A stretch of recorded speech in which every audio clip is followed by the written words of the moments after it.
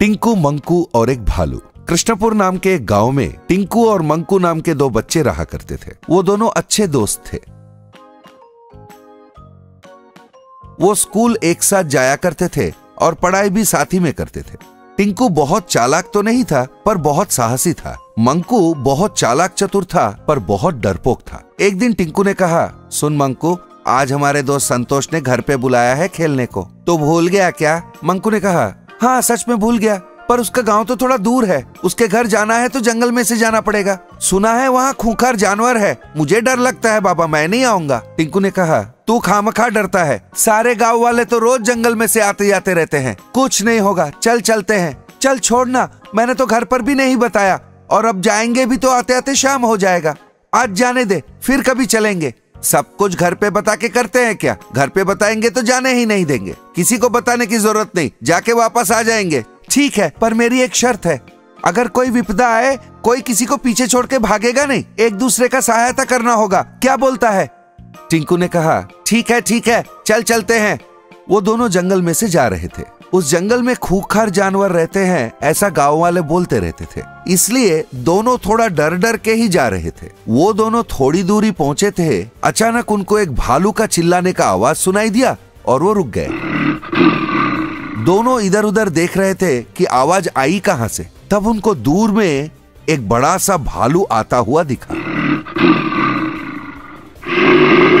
मंकू ने कहा, बाप रे, भालू अगर हमें देख लेगा तो मार के खा जाएगा। अब हम क्या करें? डर मत। मुझे उस पेड़ पे चढ़ने के लिए सहायता कर। मैं ऊपर जाता हूँ, फिर तुझे खींच लेता हूँ। इस तरह मंकू का सहायता करने से टिंकू पेड़ पे चढ़ गया और बैठ गया। मंकू बोल रहा था, जल्दी खींच, मुझे जल्दी खींच। भालू आ रहा है, जल्दी खींच ले मुझे। इस डाली पे एक ही बैठ सकते हैं। तू जाके दूसरी पेड़ ढूंढ। घबराते हुए मंकू ने कहा, मुझे पेड़ चढ़ना नहीं आता। जल्दी मुझे ऊपर खींच ले, वरना भालू मुझे खा जाएगा। टिंकू ने कहा, मेरी बात समझ में नहीं आ रही क्या? यहाँ बैठने का जगह नहीं है। जाके दूसरा पेट ढूंढ और चढ़ जा। इतने में वो भालू बहुत नज़दीक आ गया था। अचानक से मंकू को कुछ याद आया। मरा हुआ चीज़ को भालू खाता नहीं, ये मंकू ने किसी को कहते हुए सुना था। मंकू फिर ज़मीन पर लेट गया, जैसे कि वो मर गया हो, और उसने अपनी सांस रोक ली। भालू मंकू तक पहुँच गया। फिर उसने मंकू के चक्कर लगाए।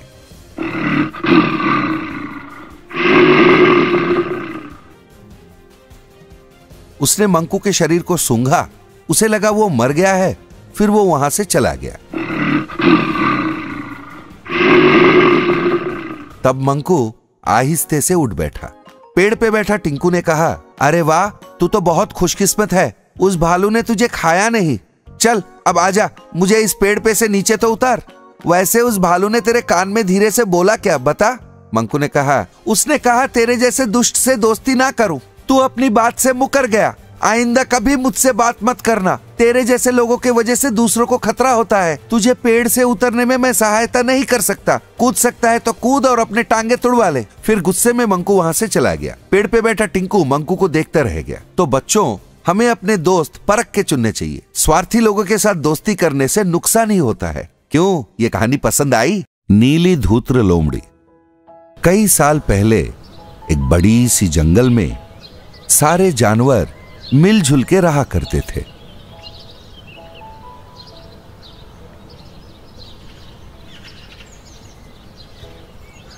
उस जंगल में एक बड़ा धूत्र लोमड़ी भी रहता था। एक दिन एक बंदर एक मांस का टुकड़ा लेके जा रहा था तो लोमड़ी ने उसे रोक लिया। ए रोक। हाथ में क्या है? मांस का टुकड़ा? बंदर तो मांस खाते नहीं। तू उसे लेके क्या करेगा? बोल, बंदर ने कहा। सच कहा, दोस्त, हम मांस खाते नहीं, पर मुझे ये पड़ा हुआ मिला। ये मेरा दोस्त नेवले के लिए ले जा रहा हूँ। उसने भी कई बार मुझे फल खिलाए हैं। हम एक दूसरे के साथ देंगे तो अच्छा होगा ना? क्या बोलते हो? देख, ज़्यादा चालाकी मत कर। वो मांस का टुकड़ा मुझे दे दे। तूने ज़्यादा बकबक की तो मैं तुझे मार के खा लूँगा। समझा? बंदर बेचारा घबरा गया। उसने मांस का टुकड़ा लोमड़ी की ओर फेंका और भाग गया। एक दिन लोमड़ी को बहुत भूख लग रहा था। वो एक गाँव के पास पहुँच गया। जंगल में ढूँढने पर भी खाने को कुछ भी नहीं मिल रहा है। शायद इस गाँव में ही मुझे खाने को कुछ मिल जाए। वो गाँव में खाना ढूंढ रहा था। एक कुत्ते ने उसे देखा और ज़ोर से चिल्लाया। वो उसका पीछा करने लगा। लोमड़ी कुत्ता से पीछा छुड़ाने के लिए दौड़ के एक घर के अंदर घुस गया। वो छुपने की कोशिश कर रहा था कि एक रंगों का डब्बा उसके सर पे गिर गया। कुत्ते को वो दिखा नहीं तो कुत्ता वहाँ से चला गया। फिर लोमड़ी अचानक आईने के सामने आया तो उसने देखा कि वो नीला रंग में बदल चुका है। ये क्या? मैं तो पूरा नीला बन चुका हूँ। बड़ा मज़ा आ रहा है। कुछ दिन ऐसा ही रहता हूँ। देखता हूँ क्या होता है। वो वापस जंगल में आ गया तो एक हाथी ने उसे देखा। ये क्या? अरे बाप रे ये तो कोई नया प्राणी लगता है। भागो सब भाग जाओ भाग जाओ भाग जाओ। लोमड़ी ने सोचा अरे ये क्या? इतना बड़ा हाथी मुझे देख के भाग गया। मैं कोई भयंकर प्राणी की तरह दिखा होऊँगा इसे। उसके बाद वो थोड़ी दूर और गया। उसे देखते ही सारे जानवर भाग गए। वो मनमोजी की तरह चले जा रहा था तो एक शेर ने उसे देखा। उसे देखते ही शेर घबरा के झाड़ियों में छुप गया। लोमड़ी शेर की तरफ़ बढ़ा। शेर ने कहा, अरे बाप रे आप मुझे कुछ मत कीजिए। आप जो बोलेंगे मैं वही करूँगा। मुझे मत मारिए। मैं आपका पैर पड़ता हूँ। लोमड़ी ने कहा, ठीक है ठीक है। तुम अभी जाओ और बब्बर शेर राजा को ले आओ। साथ साथ बाकी सारे जानवरों को भी बुलाओ। तुम सबसे मुझे बात करना है। उसके बाद सारे जानवर उससे मिलने आए। शेर ने कहा, प्रभु, नमस्कार। मैं इस जंगल का राजा हूँ। आपको देख के हम सब बहुत डरे हुए हैं। कृपा करके हमें मारिएगा मत। आपको क्या चाहिए? आप क्यों यहाँ आए हैं? हमें बताइए।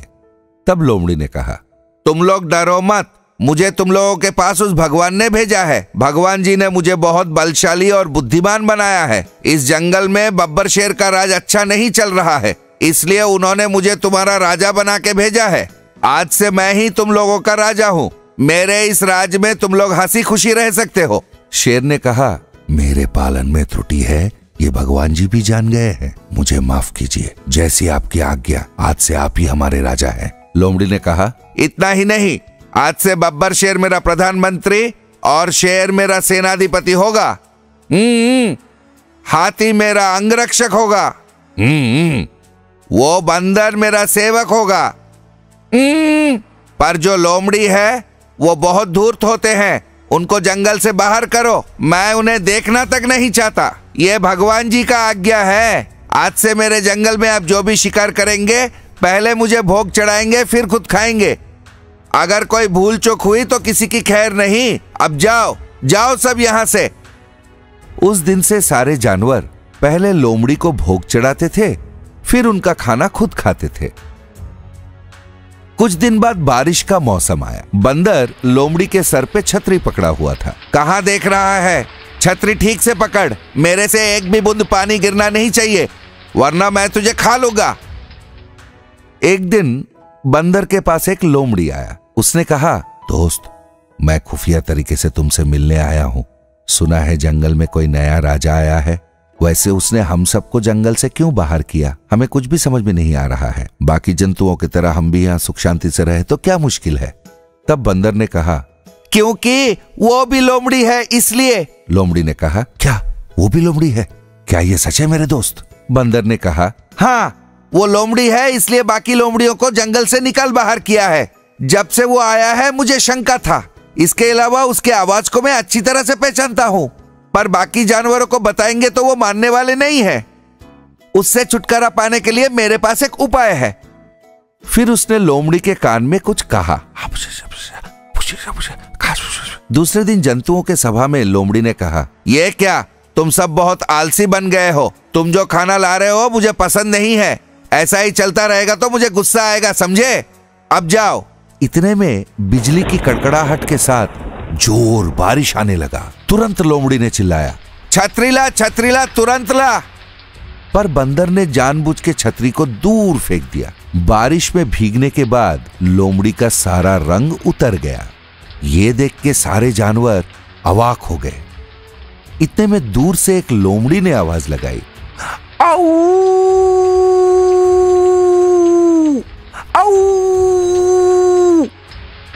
वो सुनते ही इस लोमड़ी ने भी आऊ।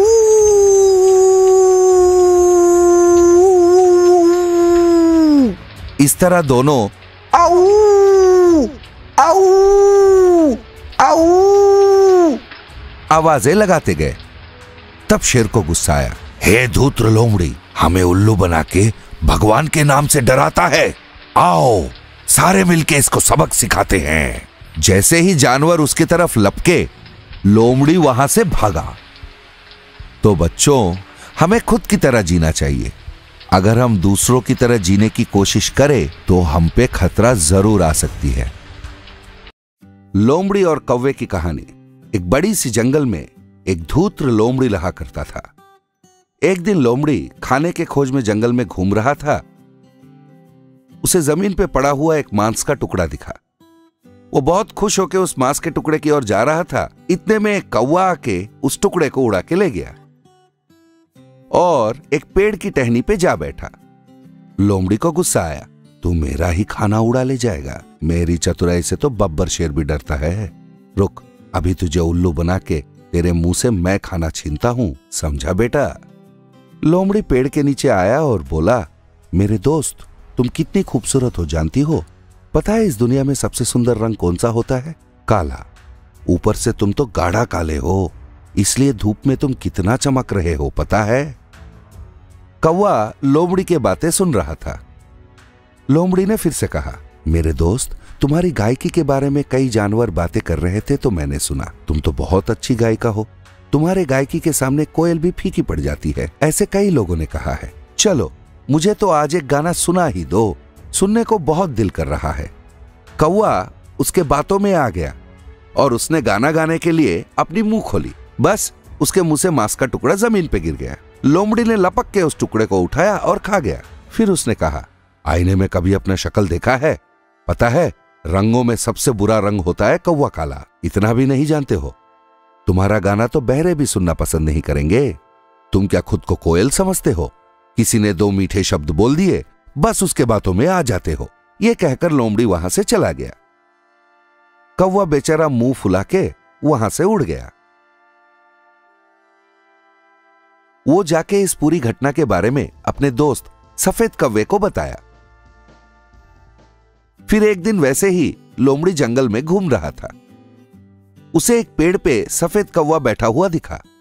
उसके मुँह में एक मांस का टुकड़ा था। लोमड़ी ने देखा, मेरे दोस्त, तुम कितने सुंदर हो, जानते हो? आज तक मैंने कभी सफ़ेद कौवा नहीं देखा था। सारे रंगों में सबसे अच्छा रंग सफ़ेद होता है सफ़ेद रंग के साथ पैदा हुए हो तुम बहुत भाग्यशाली हो जितने सुंदर तुम दिखने में हो तुम्हारी आवाज़ भी उतनी ही सुंदर होगी चलो अब मुझे एक गाना सुना ही दो तब कौवे ने मांस का टुकड़े को अपने पैर के नीचे दबाया और का का का का का का का का का का का मेरे दोस्त, बस करो बस करो। बहुत अच्छा गाना गाया है तुमने, उसने कहा। तब कौवे ने कहा, अरे, ये क्या मेरे दोस्त? पूरा गाना सुनने से पहले ही रोकने को कहा? ऐसा क्यों किया तुमने? तो लोमड़ी ने कहा, अरे, नहीं नहीं, मेरा ये उद्देश्य नहीं था। चावल पका कि नहीं, ये जानने के लिए सिर्फ़ एक ही दाना काफ़ी होता है। तुम्हारी आवाज़ तो बहुत सुरीली है। तुमको तो ज़रूर नाच भी आता होगा। चलो, अब मुझे थोड़ा नाच के दिखाओ। तो कौवे ने कहा, अरे, नृत्य, वो तो मुझे बहुत अच्छी तरह से आती है। इस मांस के टुकड़े की वजह से मैं नाच नहीं पा रहा हूँ रुको मैं इस टुकड़े को खा लूँ फिर मैं तुम्हें नाच के दिखाता हूँ फिर उसने मांस के टुकड़े को खा लिया और अपना नाच शुरू किया काव काव काव काव काव काव काव काव काव उसके आवाज़ से लोमड़ी का सर फटा जा रहा था तब कौवे ने कहा मेरे दोस्त तुम सोचते हो कि इस दुनिया में तुम अकेले ही चालाक हो दिमाग हर एक के पास होता है। उसे अच्छाई के लिए ही इस्तेमाल करना चाहिए। लोगों को धोखा देने के लिए नहीं। कम से कम अब तो सुधर जाओ। ये कह के कौवा वहाँ से उड़ गया। तो समझे बच्चों, कभी भी दिमाग का ज़ोर किसी और को धोखा देने के लिए नहीं लगाना चाहिए। बाबर शेर और एक चालाक खरगोश की कहानी। एक बड़ी सी जंगल में एक बाबर शेर रहा करता था। वो बब्बर शेर उस जंगल का राजा था, जब भी भूख लगती थी, बाकी जानवरों का शिकार करके खा जाता था। कभी कभी तो भूख न लगने पर भी अपने शौक मिटाने के लिए वो शिकार करता था। उसके हरकतों से बाकी सारे जानवर डरे हुए थे। जंगल के सारे जानवरों ने मिलकर एक बार एक सभा रखी। ऐसा चलता रहेगा तो हमारे जंगल के सारे जानवर मारे जाएँगे। हमें इस बब्बर से छुटकारा पाने के लिए कोई ना कोई रास्ता तो निकालना ही पड़ेगा। क्यों दोस्तों? तब जंगल के सारे जानवर मिलके बब्बर शेर से मिलने गए। लोमड़ी ने कहा, राजा जी, आपको नमस्कार। हम सारे जानवर आपसे कुछ पूछने आए हैं। तो शेर ने कहा, क्या पूछना चाहते हो? जल्दी पूछो। तब हाथी ने कहा, शेर महाशय, हम सारे जंतुओं ने मिलकर एक प्रस्ताव पारित किया है। आगे से आपको कष्ट करके शिकार करने की ज़रूरत नहीं है। हर रोज हम में से एक जानवर आपके शिकार बनने खुद ही आ जाया करेंगे। तब शेर ने कहा, ठीक है, पर तुम्हारी बात मानने से पहले मेरी भी कुछ शर्तें हैं। सुनो, सारे जानवर शर्त क्या हो सकता है, ये सोचने लगे। तब शेर ने कहा, जानवर चाहे कोई भी हो, पर सुबह सुबह आना होगा। देर होने से मुझे गुस्सा आ जाएगा। और अगर जानवर छोटे हुए तो कम से कम चार आने चाहिए। अगर मेरी बात नहीं मानोगे तो तुम सबको शिकार करके मार दूँगा। सारे जानवरों ने बब्बर शेर की शर्तें मानी और वहाँ से चले गए। इस तरह हर रोज एक जानवर बब्बर शेर का शिकार बनने चला आता था। एक दिन एक खरगोश का बारी आया। वो बड़ा ही चालाक खरगोश था। उसने सोचा, क्या किया जाए? इस शेर से कैसे छुटकारा पाया जाए? ये सोचते हुए वो जंगल में चलने लगा। शेर के गुफा की तरफ़ जाते हुए उस खरगोश को जंगल में एक पुराना कुआ दिखा। खरगोश ने उस कुएँ में झाँक के देखा। कुएँ के पानी में उसे अपनी शक्ल दिखाई दी। तब खरगोश को एक उपाय सूझी। आ इधर शेर खरगोश के इंतज़ार में था। उसे बहुत गुस्सा आ रहा था। पर खरगोश कैरेट खाते हुए पेड़ के नीचे आराम कर रहा था। इधर शेर को बहुत भूख लग रहा था और वो गुस्से में दहाड़ रहा था। खरगोश आराम से चलने लगा। और आहिस्ता आहिस्ता वो शेर के गुफा तक पहुँच गया। खरगोश को आते देख शेर गुस्से में दहाड़ा। इतनी देर क्यों हुई? एक खरगोश से मेरा क्या होगा? बाकी के खरगोश कहाँ है? तब खरगोश ने डरने का ढोंग रचा के कहा, माफ़ कीजिए बब्बर शेर जी, हम चार खरगोश आपके लिए निकले थे। पर पर, बीच में एक, बीच रास्ते में, वो वो, क्या वो वो? क्या हुआ था बीच रास्ते में? कुछ बताओगे भी कि नहीं? तब खरगोश ने कहा, बाबर शेर जी, हम सुबह सुबह चार खरगोश आपके पास आने के लिए निकले थे। पर बीच रास्ते में एक बड़ा सा शेर आपसे भी बड़ा था। उसने बाकी तीनों को खा लिया। मैं तो आपके आहार बनने जान बचा के भाग आया। तब शेर ने बड़े गुस्से में कहा, क्या बोला? मेरे से भी बड़ा शेर, मेरे ही जंगल में, मेरे से भी बड़ा शेर। चल मेरे साथ वो कहाँ है मुझे दिखा, मैं अभी उसे मार डालूँगा। तब चालाक खरगोश शेर को उस कुएँ तक ले आया। बाबा शेर जी, मैंने जिस शेर के बारे में बताया, वो यही अंदर है। जब शेर ने कुएँ में झाँक के देखा तो पानी में उसे खुद का चेहरा दिखाई दिया। उसे लगा, ये तो दूसरा शेर है, और उसने ज़ोर से दहाड़ा, कुएँ के अंदर से उसी का दहाड़ उसे वापस सुनाई दिया। उसे बहुत गुस्सा आया। उसने दूसरे शेर को मारने के लिए कुएँ में छलांग लगाई कुआँ बहुत गहरा था। वो कुएँ में डूब के मर गया। उस खरगोश की चतुराई से सारे जानवर बहुत खुश हुए। उन्होंने उसे शाबाशी दी। तो बच्चों, समझ गए? शारीरिक शक्ति से दिमागी शक्ति ज़्यादा प्रयोगशाली होती है। ये कहानी है सोने के अंडे देने वाले एक बतख की। कृष्णपुरम नाम के एक छोटे से गाँव में एक गरीब आदमी रहता था। उसका नाम था रामैया। वो बहुत परिश्रम करता था। हर रोज वो जंगल में लकड़ियाँ काटने जाता था। लकड़ियाँ बेच के जो थोड़े पैसे उसको मिलते थे, उससे वो अपना परिवार चलाता था। एक दिन जब वो जंगल जा रहा था, उसे एक शेर दिखा। शेर का पैर दो पत्थरों के बीच फंसा हुआ था। वो हिल नहीं पा रहा था और दर्द के मारे दहाड़ रहा था। रामैया निडर होके उस शेर के पास गया और पत्थर हटा के उस शेर को आज़ाद किया। आज़ाद होते ही वह शेर एक देवी में बदल गई। रामैया चौंक गया और उसने उस देवी को प्रणाम किया। तो देवी बोली वत्स मुझे एक ऋषि ने श्राप दिया था जिसके कारण मैं एक शेर में बदल गई थी। उन्होंने ये कहा था कि अगर कोई हिम्मत वाला आदमी आकर मेरी रक्षा करेगा तो मैं श्राप मुक्त हो जाऊँगी। पर हर कोई मुझसे डरकर भाग जाते थे। मैं तुम्हारा आभारी हूँ कि तुमने मुझे हिम्मत से श्राप मुक्त किया। फिर देवी ने एक बतख प्रकट करके रामैया को दिया। ये कोई साधारण बतख नहीं है ये सोने के अंडे देती है पर ये हर दिन एक ही अंडा देगी। मुझे उम्मीद है कि अब तुम सुखी होगे देवी गायब हो गई और रामैया खुश होके बतख लेके घर गया और पूरी कहानी अपनी पत्नी को बताई। उसके बाद हर रोज वो बतख एक सोने का अंडा देता था और रामैया उसे शहर ले जाकर बेचाता था। बहुत जल्द वो एक अमीर आदमी बन गया। उसने एक नई घर बनाई और जंगल जाना छोड़ दिया। अब वो एक आलसी आदमी बन चुका था। जैसे जैसे उसकी अमीरी बढ़ी, उसके कुछ दोस्त भी बढ़ गए। अब वो शराब पीता था और जुआ भी खेलने लगा था। उसकी पत्नी ने उसे बहुत रोकने की कोशिश की, पर उसने पत्नी की एक ना मानी। एक दिन उसने अपने पत्नी से कहा यह बहुत दुर्भाग्य की बात है कि वो बतख दिन में सिर्फ़ एक ही सोने का अंडा देता है। हर रोज एक अंडा बेच के मुझे जो पैसा मिलता है वो पैसे मुझे कम पड़ते हैं। उसकी पत्नी ने कहा तुम्हें पता भी है हमें पैसों की कमी क्यों हो रही है? तुम्हारी इन बुरी आदतों की वजह से वैसे भी लालच बुरी बला है। अब तो सुधर जाओ और परिवार का ख्याल करो। पत्नी के बातों से रामया नाराज़ हो गया।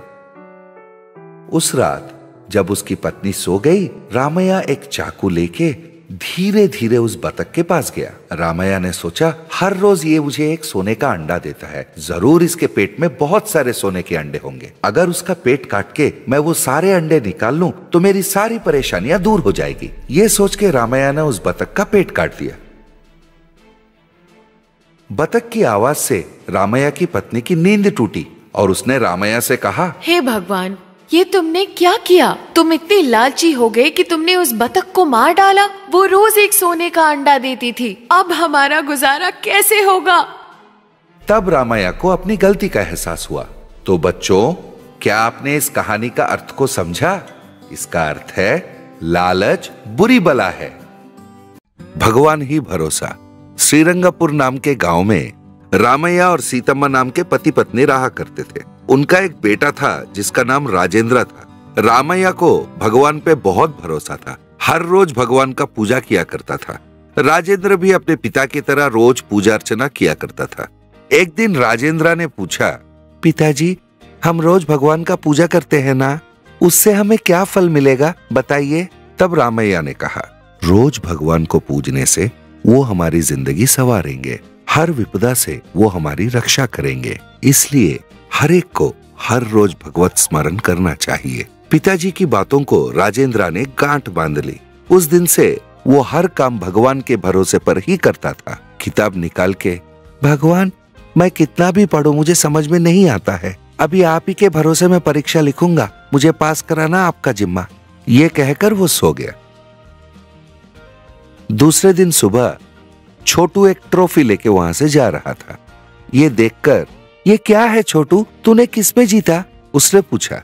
छोटू ने कहा, मैं दौड़ में फ़र्स्ट आया हूँ, इसलिए मुझे ट्रॉफी मिला है। ये देख के मम्मी पापा बहुत खुश होंगे। ये कहकर वो वहाँ से चला गया। राजेंद्र ने कहा, भगवान, मुझे भी दौड़ की प्रतियोगिता में जिता दीजिए। एक दिन रामैया ने राजेंद्र से कहा, राजेंद्र, मुझे बुखार हुआ है। क्या तुम बाजू के गाँव में चावल पहुँचा दोगे? सावधान से जाके आना। ठीक है, पापा, राजेंद्रा ने कहा। राजेंद्र चावल लादा हुआ बैलगाड़ी लेके निकल पड़ा। एक सुनसान रास्ते से जा रहा था। अचानक बिजली की गड़गड़ाहट के साथ बारिश।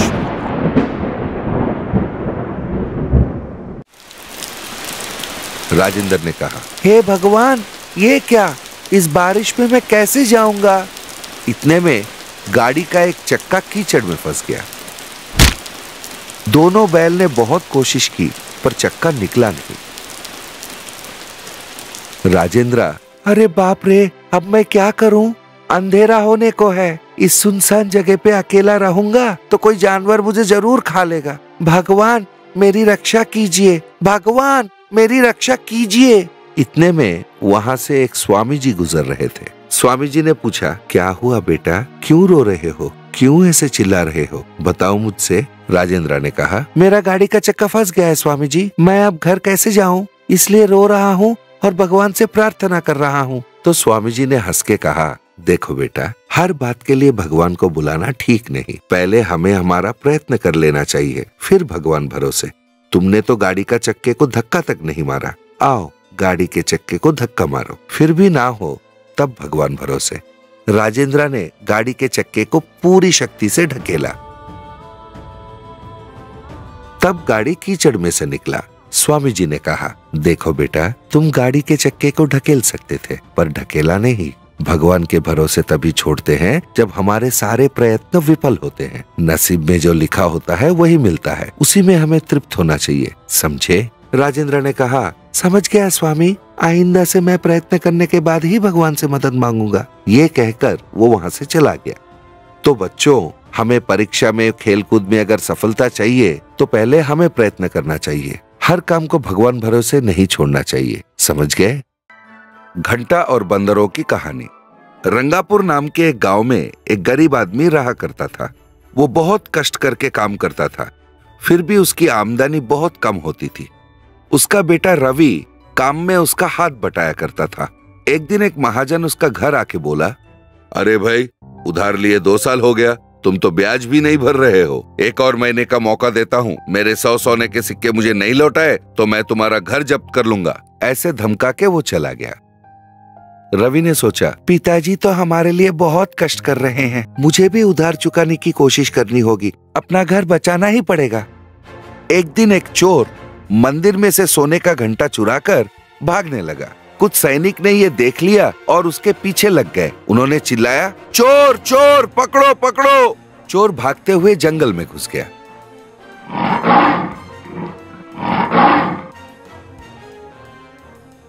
अचानक एक शेर सामने आ गया। शेर को देखते ही घंटे को गिरा के चोर दूसरी ओर भागा। सिपाही भी शेर को देख के, अरे बाप रे, शेर! ये कह के भाग गए। नीचे पड़ा हुआ घंटे को एक बंदर उठा के ले गया। कुछ देर बाद सिपाही लौट आए। उन्होंने घंटे के लिए खोजा। घंटा नहीं मिला तो वो वापस चले गए। राजसभा में सिपाहियों ने राजा से कहा, महाराज, हम उस चोर का पीछा कर रहे थे। हम उसे पकड़ने ही वाले थे। इतने में शेर ने हमला कर दिया और उसे मार दिया। हमने घंटे के लिए बहुत ढूंढा, पर वो मिला ही नहीं।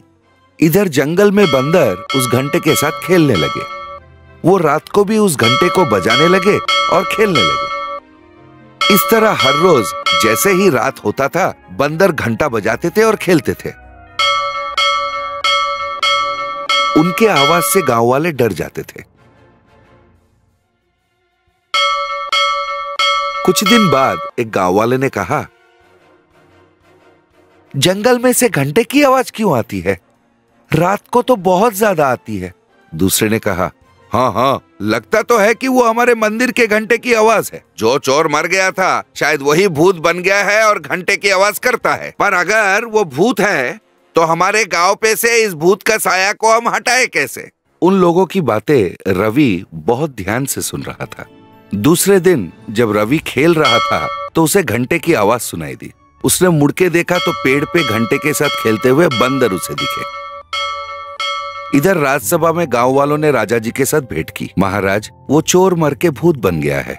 हर रोज घंटा बजाता है और हमें डराता है। हम तो जंगल की ओर जाना ही छोड़ दिए। आप ही रक्षा कीजिए महाराज, उन लोगों ने कहा। तो महाराज ने कहा हाँ ये बात हम तक भी पहुँची है। तुम लोग डरो मत, हर समस्या का एक हल होता है। अगर कोई हिम्मत वाला उस जंगल में जाए और घंटे को ले आए, उसको मैं एक लाख स्वर्ण मुद्रा इनाम में दूँगा। रवि ने कहा, महाराज, अगर आप अनुमति दे, उस घंटे को लाने मैं जंगल में जाऊँगा। ये मत सोचिए मैं छोटा बच्चा हूँ। उस घंटे को कैसे लाना है, मुझे पता है। कृपा करके मुझे अनुमति दीजिए, महाराज। महाराज ने कहा, ठीक है, जाओ रवि, पर सावधान। भूतों के साथ सौदा करना खतरे से खाली नहीं। दूसरे दिन रवि अलग अलग किस्म के फल लेके जंगल पहुँच गया। बंदर घंटे के साथ खेल रहे थे, उन्होंने रवि को देखा। रवि ने फलों की टोकरी बंदरों की तरफ़ किया, फिर उसमें से एक केला लेके खुद खा गया। ये देखकर सारे बंदर पेड़ पे से कूदकर नीचे आ गए। रवि एक एक फल निकालकर दूर फेंकने लगा।